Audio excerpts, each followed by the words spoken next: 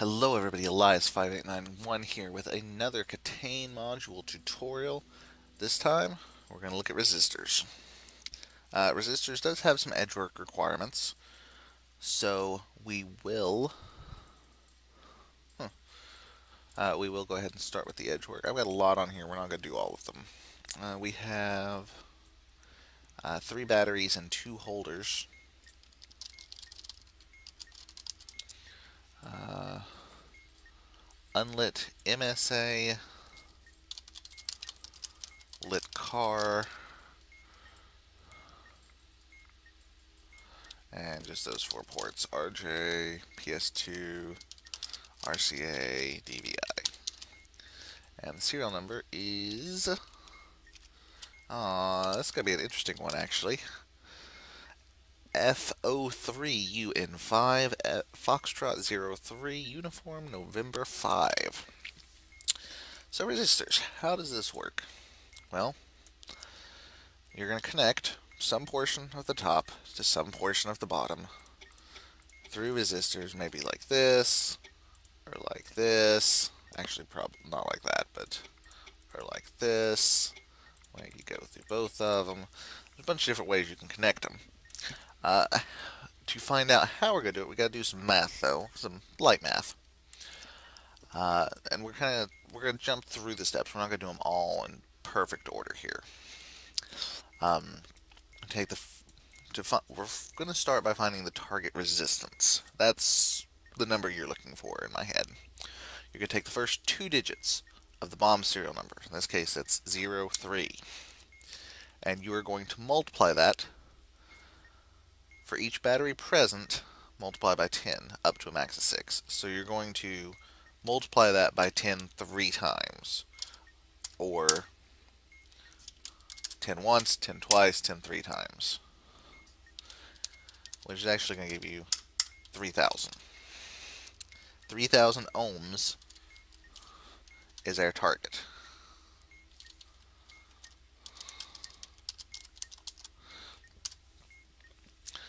Now, these resistors have different amounts of uh, capacity in them. They can hold or block different amounts. This chart on page 2 actually gives you what numbers they relate to. The first, second band is the same multiplier. Um, so, as the defuser, I would actually read off the colors on these strips before you have a chance to do your target. So for this one, uh, the top resistor is brown, orange, orange, and you actually don't need the part after the gap. So this is just brown, orange, orange. This part doesn't matter. And sometimes, even if they're flipped around, you're always going to start, you're only going to read the part that has three, and you're always going to start from the outside in. So this would be brown, orange, orange. This is going to be orange, white, red. Uh, likewise, this would be brown, purple, red, brown, orange, red, orange, black, brown, orange, black, red, uh,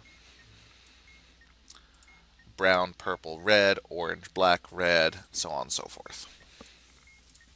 Uh, but anyway, let's get back to this one we're working on. So we have brown, orange, orange, and orange, white, red. Well, let's look up these numbers. Brown is 1.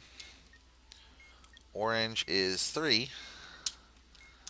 And for the third one, orange means multiply by a thousand. The second one, on the other hand,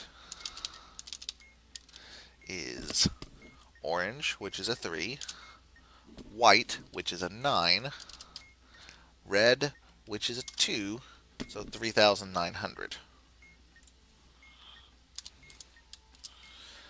Now, if we compare these to our target, are they the same? Are they different? If so, how are they different? And when we do these, there's three possibilities.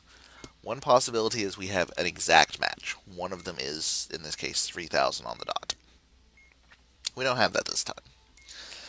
Second option, they add up together to make 3,000. Mm, not the case this time either. Third option is the target, the combined resistance, the target, is less than either resistor individually. That's the case here. Our target, 3000, is less than both of these individual ones. Actually what it says right here. And it tells us how these are going to connect. Uh, we're going to connect the input, and we'll get to figuring out the input here in just a second, to the top, input to the bottom, top to the output, bottom to the output. So if it's A and C, it's going to be like it's going to look something like that. That's called the resistors being in parallel because it's going through both of them kind of their own little path. At, in parallel they're going. Uh, but let's figure out which ones we need. For that, we'll come back up here to this first rule. Uh, take the first number of the serial bomb serial number. Primary input is A if it's even, B if it's odd. Uh, first number was O, that's even. So A is our input, our primary input, I should say. Uh, last digit is serial number. C if even, D if odd. Last digit's 5, that's odd. So D is my primary output. So, since I found out because my strips, my resistors are less than my target, I'm going to connect A to D through parallel, like that. So A to the top, top to D, A to the bottom, bottom to D. I've got that. Am I done? Not necessarily. Now we're kind of looking at the rules. We got the numbers, we got the primary input output, we got the target resistance. We've connected the primary input to the primary output, like so.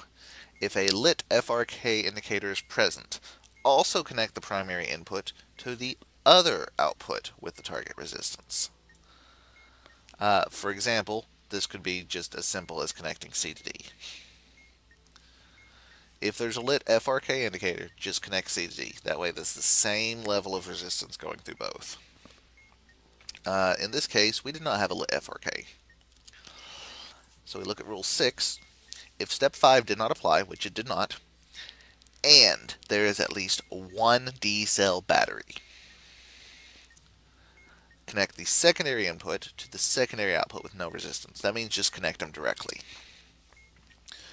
Did we have one D cell battery? Well, if I'm looking at the bomb, I can say yes. But uh, to look at to tell if that's the case normally, uh, look at the number of bat holders you have, two in this case, double it to four. Is that how many batteries I have? If so, then they're all double A sets. If it's not, then at least one of them has to be a D cell. So unless the number of batteries is exactly double the number of holders, you have a D cell. We do have a D cell. So we're going to connect the secondary input, the one we didn't use, to the secondary output with no resistance, so just a straight line to them. So we have A to D, and this is how I would read this answer out. I have A to D in parallel and B to C directly. That's how I would read. Uh, different people have different ways that they might give out that answer, but that's that's the general idea behind it. Uh, now I'm actually going to stick with this bomb for just another minute or two so we can demonstrate the other kinds. Uh, but this part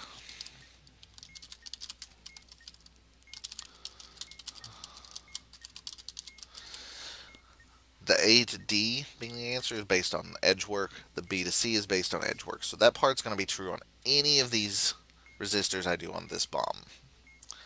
Uh, but I want to see if I can find one that has a different kind. So uh, let's see here. Orange, black, black would be nice. Not orange, black, black, sorry orange, black, red. This one. Uh, we have brown, purple, red, orange, black, red. As you heard me talking to myself, you may know where this is going. Uh, brown, purple, red is uh, brown is 1, purple is, or violet, is 7. Red is a multiplier of 100. So we add two zeros. Orange, black, red. Orange is 3. Black is 0. And multiplier for red is 100. Notice my target's 3,000. This time I've got one that's exactly 3,000. So for this one, I want to connect just through that resistor. So I'm going to say A to D through the bottom resistor, B to C directly, and that's the second kind of answer you might get. Uh, let's hop over here for the last one.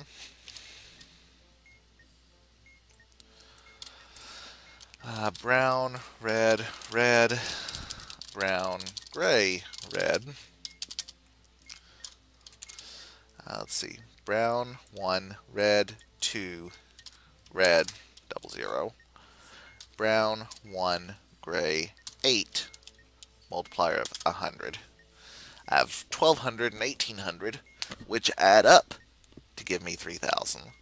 So this time, my combined resistance is the sum. In that case, we're going to go in serial. And going in serial just means going through each of them in turn. So that's going to look like this. Go to the top one. Top one goes to the bottom one. And then it goes to the output. And B to C direct, as always. So notice this is serial. Lots of wires going through both of them. Kind of their own separate paths. That was parallel. This is serial, where you're going through both of them, but you're just going through both of them in a single path. You can actually make this path a little more interesting than this. Um, this one, uh, this is uh, 160 and 140, so this one's also going to be a serial. So I might do it this way instead. I don't have to connect the first part. Actually, let's go this way with it.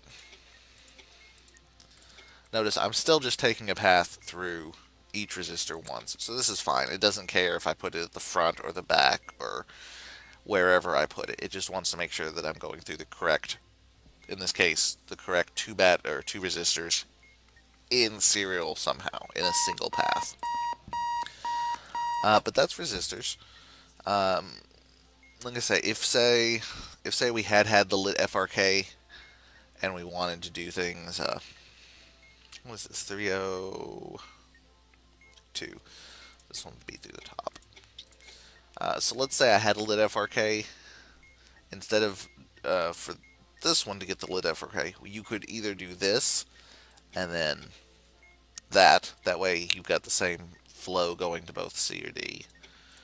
Or you could do this number. That way you've got the same current flowing through, or the same resistance going through both C and D. Didn't mean to actually check that.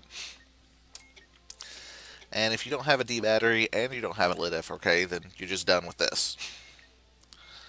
Uh, but this time, yeah, gotta get gotta get that secondary direct, which is what comes up more often than not.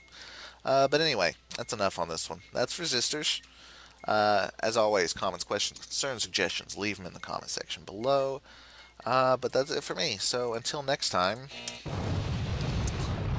Uh, has been Elias. Thank you so much for watching. Uh, have a great day and hold up your resistance. Bye.